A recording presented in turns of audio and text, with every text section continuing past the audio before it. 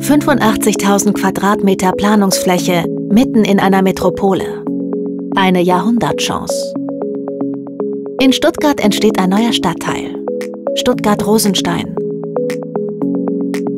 Im Symposium der Architektenkammer Baden-Württemberg und der Stadt Stuttgart blicken renommierte Expertinnen und Experten auf das Riesenprojekt.